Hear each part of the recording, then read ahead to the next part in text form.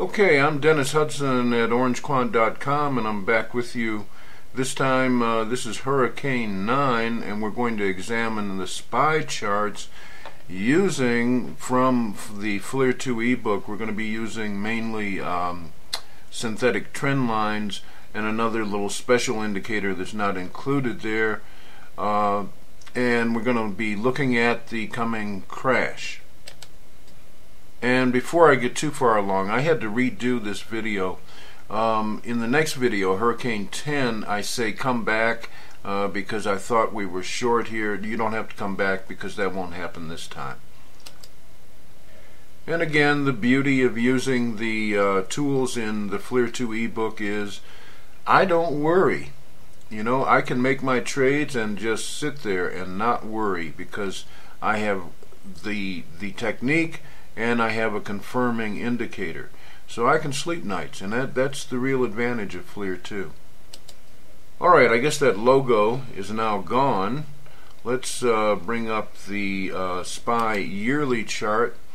And the key thing to notice here, these are synthetic trend lines you're looking at. The key thing to notice is that the way they're arranged, uh, the, the common feature in the various time frames is that price is bound. It's, it's bumping into uh, resistance for each of the time frames we're talking about, whether it's yearly, quarterly, or monthly in this video. And in the next video we'll do is, is the weekly. All four of them, uh, it's bumping into the resistance of these synthetic trend lines. Take a look. On the yearly, we're looking at the SPY gradually coming down, or maybe rapidly coming down, who knows, in this direction.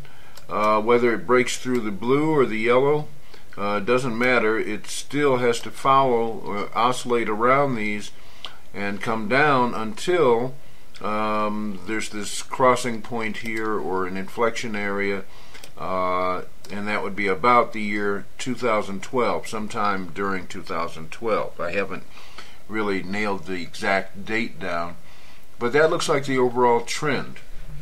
Something else on this chart I'd like to show you. Um, and oh, by the way, these uh, these red synthetic trend lines are old and venerable uh, synthetics. If price dips down and manages to break through uh, the blue and yellow ones before 2012, it's going to start following uh, this this red trend line down here. Let me show you something else about this chart. Uh, just you see that big M that it's formed? Uh, this is uh, that, that's what technical analysts call it, a big M. It's like this. It's here. There's the middle of it.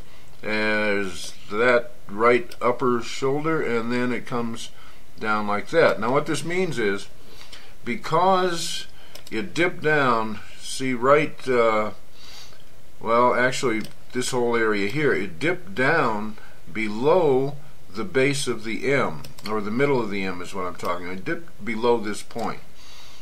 What that generally means is a continuation downward and uh, you, you see it's trying to fight its way up, but it's bumping into that resistance. So we can expect on the yearly, we're going to see a trend downwards. Let's look at the quarterly. And in, oh gosh, let me get back to the yearly. This is something I, I keep forgetting to mention. Um, all right, let's, you know, I had a special indicator I was using. There it is. And you can see on the yearly, Actually, if you look down here where I'm circling, um, that suggests it could be going back up for the year, so which means it's going to bump into um, that uh, the resistance up there. Okay, it's suggesting it could. On the other hand, it hasn't really fully completed its downward cycle. You can see how how low it can go from there. Um, but just a word to the wise, it can move up some more. Now in the quarterly we have almost an identical uh, picture in, with this resistance from the synthetics and some of the synthetics are older and some are newer. Um, I put all of them on there just to give the flavor of how strong that resistance is. and you can see uh, it, it's going to have a tough time getting getting through that resistance. The only way that it can actually get through it would be for a massive increase in manufacturing output. And I hate I don't even want to mention the word of what it would take uh, to break through like that, to have that kind of sudden increase in manufacturing output. Uh, let's let's hope uh, that we don't see anything like that happen in the world. Um, so you've got all that resistance from the synthetics and uh, out here this is the quarterly so this area out here uh, where they, they start kind of intersecting uh, let me give you a date for that okay that uh, region would make it about the end of the second quarter of 2011 I didn't want to crowd this with too much data and dates and so on so about the end of the second, about uh, about June or July of 2011, uh, there's an inflection, and that could provide a sort of bounce. Um, short-lived, I would think.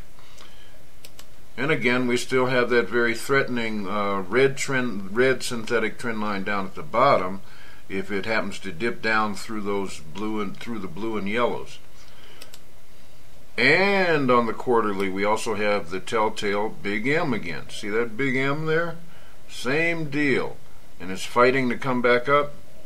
Same deal. It has to come down. It's going to follow these on down. Now, on the monthly, I just noted a couple of inflection points. Um, uh, one at uh, June, sometime during June of this this year, and the other during November of this year. And I did pick up something which I haven't shown you on the yearly chart. Uh, back down around uh, late November is a major inflection.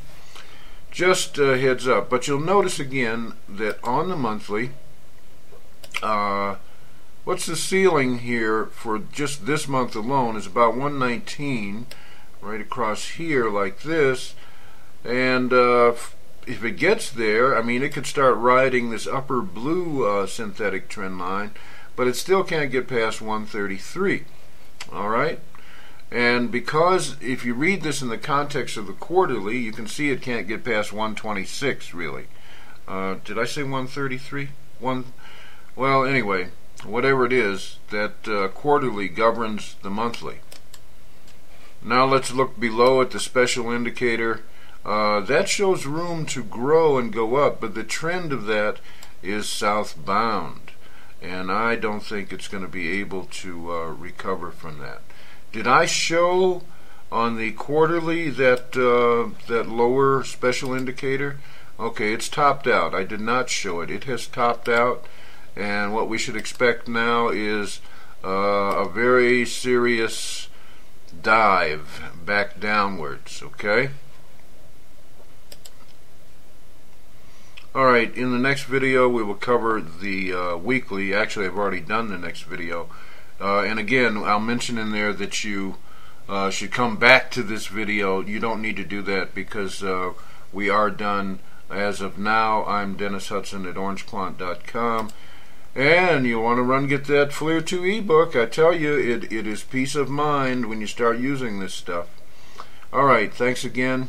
Uh, we'll see you in uh, Hurricane 10 coming up.